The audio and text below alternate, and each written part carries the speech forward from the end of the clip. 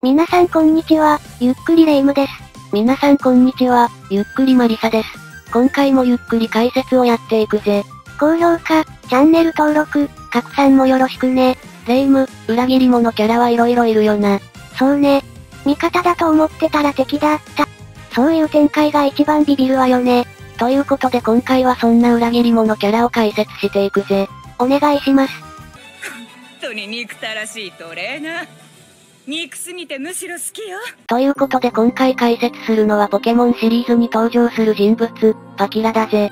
カロス地方の四天王ね。ということで解説していくぜ。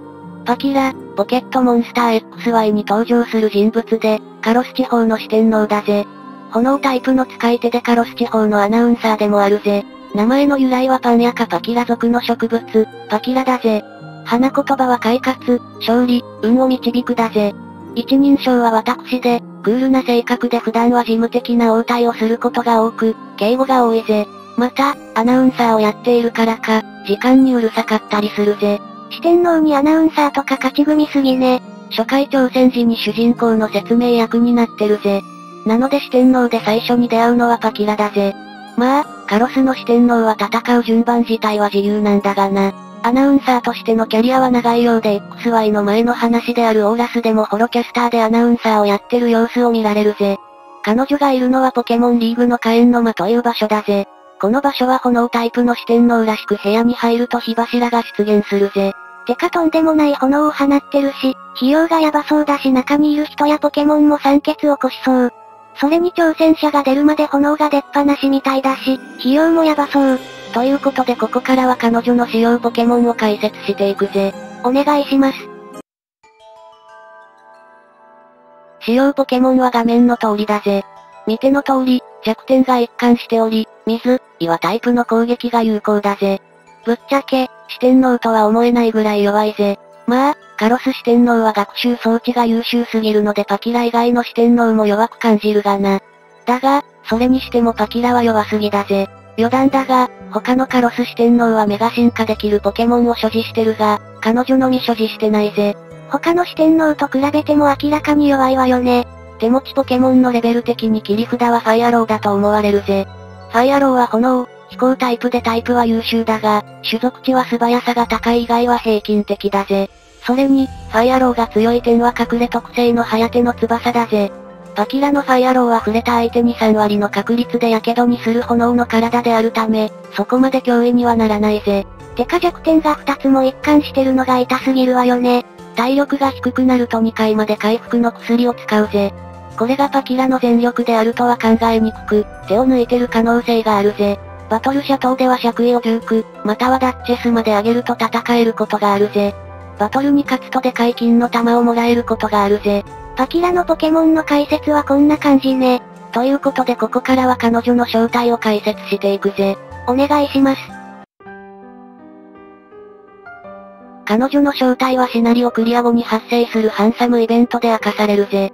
明かされるのはハンサムイベント第5章、炎の女と事件の真相だぜ。主人公の前に現れた羊の赤マロに壊れ、グランドホテルシュールリッシュの最上階に赴くと、そこに待っていたのはパキラだったぜ。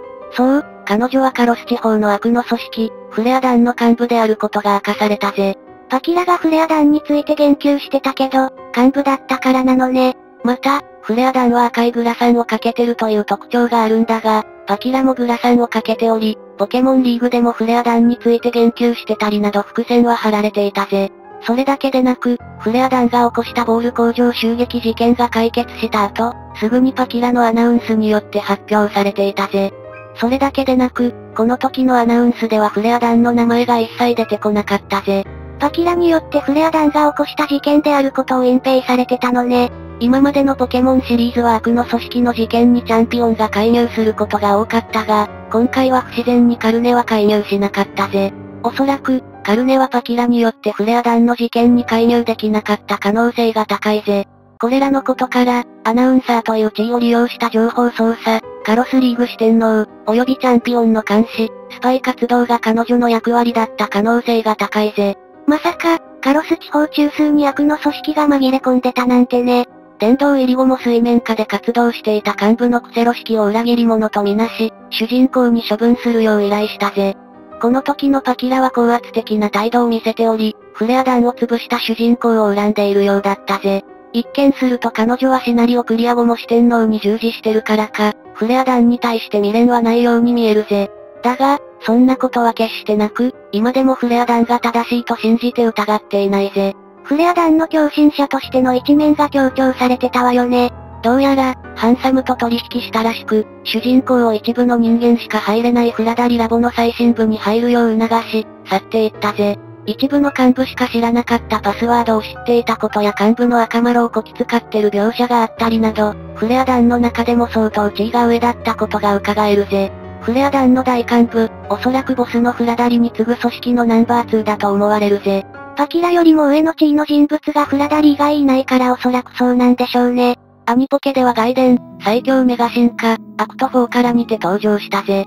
切り札はメガヘルガーでメガ進化ポケモンをちゃんと使ってくるぜ。最終的にアランに敗れたぜ。原作と同じく、フレア団のメンバーであることが明かされ、フラダリと繋がりがあることも明確に描写されてたぜ。外伝ではサトシたちと敵になるフラグビンビンであり、ほぼ必ず敵対すると思われていたぜ。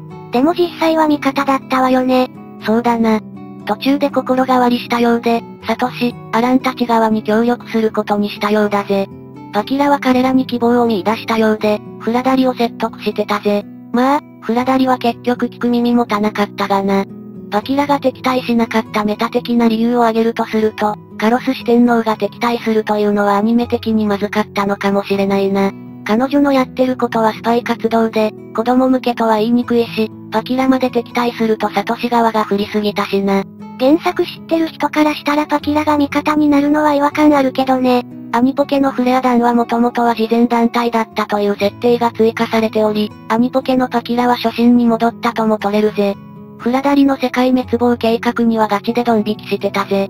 なので、アニポケのパキラはそこまで悪い人物ではないぜ。事件解決後もジュンサーのところに出頭すると発言しており、言葉通り出頭したと思われるぜ。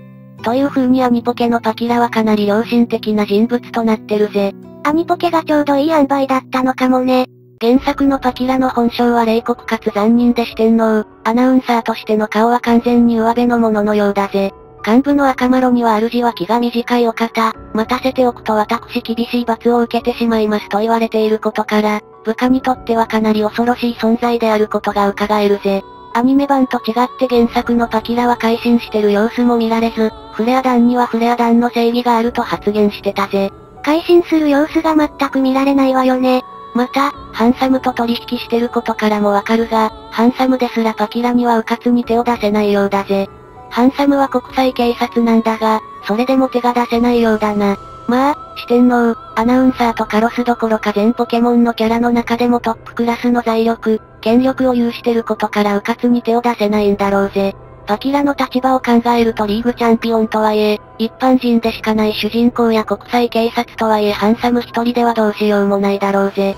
地位と権力を有してるせいで迂闊に手を出せないって妙に生々しいわね。また、取引に関してもハンサム、主人公にしか知られておらず、パキラの正体もバレてないようで、四天王やカロスチャンピオンのカルネやカロスの市民たちを完全に騙しきってるぜ。おそらく、正体をばらされた場合はヤバい情報を漏らしていたと思われるぜ。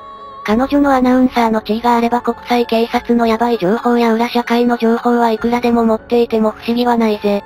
確かにそうね。クセロ式は資金が困窮してたらしく、おそらくフレア団の主な資金源はパキラだったと思われるぜ。一泊10万円のグランドホテル、シュールリッシュを待ち合わせの喫茶店感覚で簡単に使えることからも財力が桁違いであることが伺えるぜ。しかも、ロイヤルスイートルームなので、おそらく10万円以上の価格だぜ。これだけ金持ちなのは正直羨ましいな。それにしてもカロスは現実でも起こってるような生々しい展開が多いわよね。最も美しいとされるカロス地方が人間たちによって最も腐れきった地方になってしまってるのはある種の皮肉と言えるぜ。自身の考えを一切曲げない一方で、主人公をリスペクトしてると思われる面も存在するぜ。憎すぎてむしろ好きよ。夢を叶えるためのフレア団になかった力を持っていると、一定の評価をしてるぜ。それに、冷酷な性格ではあるが、幹部の赤丸が使い続けてることから相応のカリスマ性を持ってるのかもしれないぜ。赤丸がただのド M の可能性もあるけどね。ちなみにフレア団のやろうとしてることは生態系を狂わす行為であり、カロス地方の生態系を監視してるジガルデにとっては許されることではないぜ。主人公がフレア弾を止められなかった場合はジガルデが動いていた可能性が高く、ジガルデによってフレア弾の思想は否定されてると言えるぜ。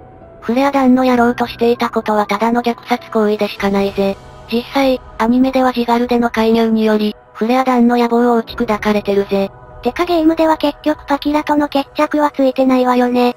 マイナーチェンジでパキラとは決着がつくと思われていたが、結局20周年記念にポケモンサンムーンが発売したことでマイナーチェンジがなくなり、パキラとは決着がつかなかったぜ。そういう意味ではパキラの勝ち逃げ状態とも言え、歴代のポケモンシリーズの中でもかなり後味が悪いぜ。それゆえに XY はポケモンシリーズ屈指のバッドエンドと言われることがあるぜ。ポケモンシリーズでここまで後味の悪いシリーズは XY ぐらいだぜ。XY はかなりシリアスな話だったわよね。総括すると彼女は悪の組織の中心人物でありながら、ポケモンシリーズの中でもトップクラスの財力、権力を持ってる危険人物だぜ。改心する様子も見られず、そこが知れない人物だぜ。そうね。ということでパキラの解説は終わりだぜ。チャンネル登録、指摘やコメント、Twitter のフォローもよろしくね。それでは皆さん、ご視聴ありがとうございました。